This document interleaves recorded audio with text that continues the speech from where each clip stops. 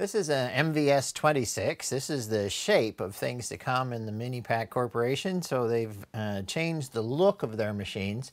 Instead of having a straight flat flat front, you now have a uh, control panel that's actually inset into that. So it's a little bit easier to clean when you make a mess out of the front of the machine.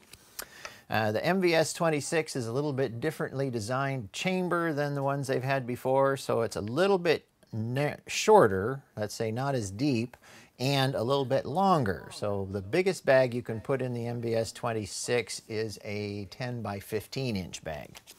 So this is a 10 inch wide bag here. And you can see it stretches just across the heat seal bar. And once again, in a chamber style machine, we don't want to be tucking that bag way down inside because you can't get the air out of it that way. Um, the lid in the MVS 26 is on a set of gas shocks, which uh, prop it open for you. So it's uh, real easy to load. And the lid opens automatically anytime, you, anytime the heat cycle is complete. And once again, the object of the game here is to let the pump run and have the bag sitting inside the chambers and flat across the heat seal bar so the air can be extracted from the bag without running an extended cycle or working your pump a little bit too hard. Uh, when we get up to 99.9% of the air, the heat cycle is going to come on and that will jump the heat bar up against the top of the lid.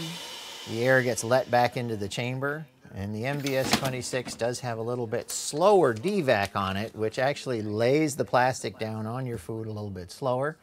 So um, there are some people that believe that because of that, then the bones don't have as much chance to puncture the bag as if you have a fast inrush of air.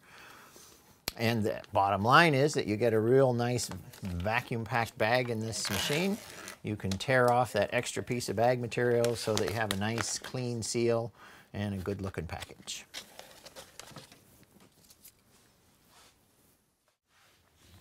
So the controls on the MVS 26 are fewer words and more pictures. Um, the first um, indicator over here is the amount of air that's coming out uh, the second indicator is the amount of air that's going into the chamber. Uh, you have a red stop button. You have the same uh, settings button and you have the same up and down arrows here. The seal button is here and the, um, the DVAC button is over here. This is the DVAC indicator. So for instance, when you want to change the settings on P1, uh, push S the light on the amount of vacuum that you get is going to light up. And in this case, we're punching out 99.9% of the air. It is adjustable, so if you didn't want to drag quite so much air out of the bag, you can lower the amount down.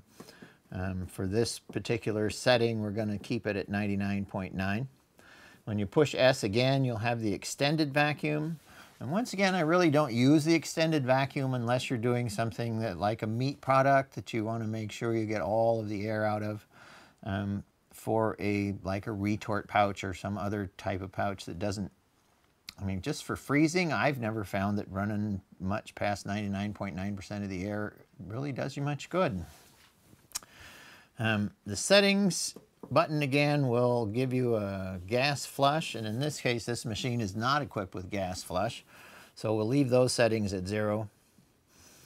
The heat seal is adjustable. Right now we're running 1.7. You can punch the buttons up or down so you can run a little bit more setting on it or a little less setting on it and then you're back to P1.